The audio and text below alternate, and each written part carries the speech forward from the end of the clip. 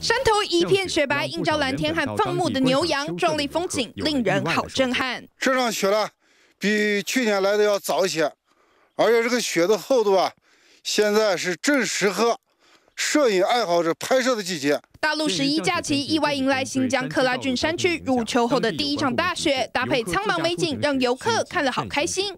而在吉林长白山也降下了首场秋雪，但雪和雨一起下个不停，让远道而来的游客想看美景却扑了空。这长白山也是我，呃，梦想能有十来年的一个景点，今天终于来了，但是每个景点也没看着。天池今天看到了吗？没看到，上去的时候上边就已经下雨了。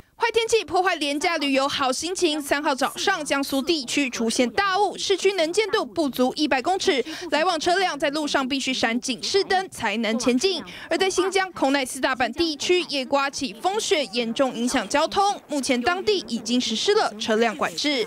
记者唐全综合报道。